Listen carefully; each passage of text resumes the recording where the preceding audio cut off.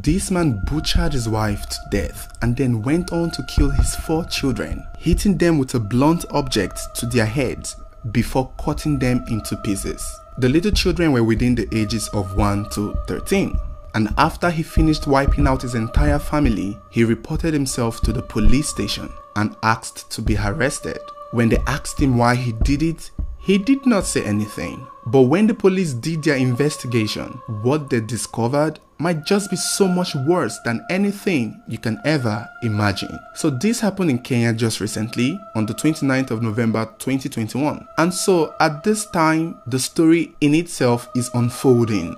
And so we might be expecting new information to this story. But right now, this is what we know about the Kirinyaga murder case. The man who has been identified as 35 years old Paul Murage Njuki was said to have had some sort of disagreement with his wife Millicent in the evening of the 29th of November. It was said that during this argument, Paul stormed out of the house, only to come back late at night when it was heavily raining to wipe out his entire family. Now, the nature of the argument that caused this man to kill his family is not particularly specific as the man himself has not exactly said why he did it. But the first batch of reports claimed that he had argued with his wife over onions in his food. Some neighbors said that they heard him complaining about not having enough onions in his food before they saw him storming out. But this doesn't exactly hold a lot of water if you ask me. I mean, who kills an entire family because of onions? Although that might be possible. However, there was this particular article that said that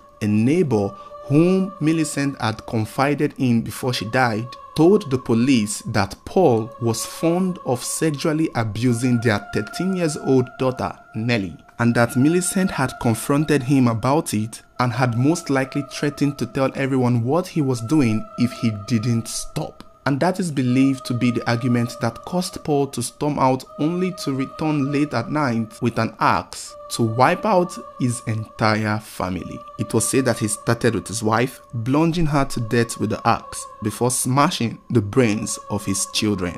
And when the police learned about this sexual abuse allegation, they took a deeper look at the body of the 13 years old girl that had been murdered, only to discover that she had been defiled right before she was killed, or most likely right after she was killed. Because when the police did their calculation, they suspected that Paul might have spent the night with the dead bodies of his family before turning himself in the next morning, which invariably means that there is a chance that after killing his entire family, he went on to have carnal knowledge with the dead body of his 13 year old daughter. Now, neighbors also pointed out that Millicent had seen her death coming. I'm guessing it's still the same friend whom she had entrusted with the information of the abuse going on in her house that still made this revelation. In an article I read, it was said that Millicent saw her death coming. She had told her neighbors that they shouldn't cry for her if her husband kills her. This is weeks before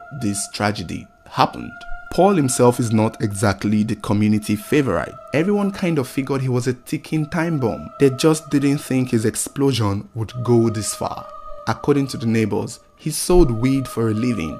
He sold drugs for a living, illegal drugs. And then he was also a heavy drinker and a very heavy smoker too. Sometimes they said when they greet him, he doesn't respond, and so many people in the community stopped greeting him. And some people are of the opinion that his heavy consumption of these illegal drugs that he sells for a living might have played a role in this tragedy. Even though I personally don't believe that, I feel like with or without being a heavy drinker or a heavy smoker, he would have still done what he did. The allegations of defiling his 13 years old daughter is strong enough to push a man to do that kind of thing. This is not the first time we're seeing something like this. Some neighbors, however, pointed out that they didn't see the couple fight, but some were aware that Millicent was in an abusive marriage and that she only stayed in the marriage because of the children. Millicent was said to have had three kids before he met Paul, and that the last child, the one years old child that was killed, might just be the only biological child of Paul with Millicent. And I think maybe this is what prompted him to keep abusing his 13 years old stepdaughter, thinking it was alright, thinking since that she isn't blood related, it's not a problem. So, as it stands now, Paul has been arrested, he has been taken to court Although currently his mental and physical health is being examined as directed by the court, there is no doubt that this man will face the full extent of the law. But my biggest fear in this story is that he might blame it on the alcohol or the drugs that he takes.